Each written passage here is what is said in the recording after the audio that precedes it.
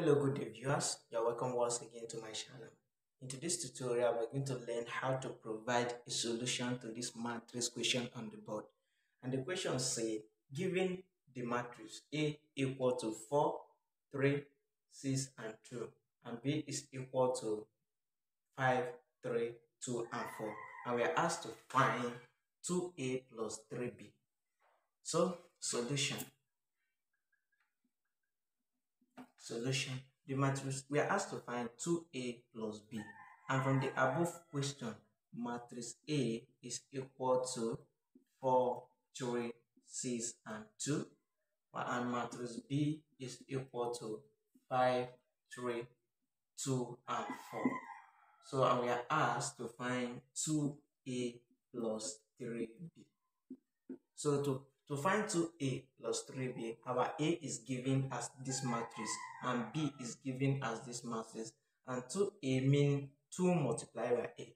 To get my 2a now, I'm go, I'll, I'll have 2 into, instead of writing a, a represent this. So I'll write 4, 3, 6, and 2 plus this constant plus 3b.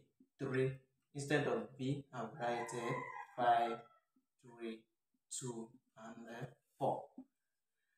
So to went that, we're going to use these two to multiply everything in this bracket. So I have eh, uh, 2a, 2, 2 into this a, four three six and 2 plus 3 into the matrix of b. So I'll have a uh, 2 multiplied by 4, I'll have, I'll open the matrix. 2 multiplied by 4 is 8. This 2 multiplied by 3 is 6.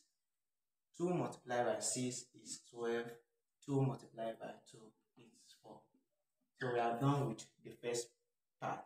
And plus matrix B, 3 multiplied by 5, I'll have a 15.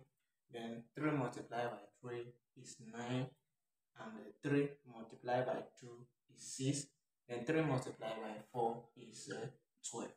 So the next thing we are going to do is to add these two matrices because of this the positive sign. So 8 plus 15 open a matrix. 8 plus 15 I'll have a 23. 6 plus 9 is 15. 12 plus 6 is 18. And 4 plus 12 it will give me 16. So this is the solution to this question on the board. Thanks for watching and don't forget to subscribe to my YouTube channel.